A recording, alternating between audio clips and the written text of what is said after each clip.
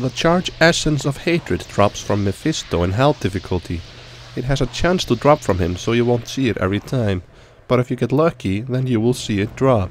Are you lucky enough to get the charged essence of, what was the name again? I don't remember. Hatred. I hope you are, because if you aren't, then you will never see this item ever in your life. Never lucky.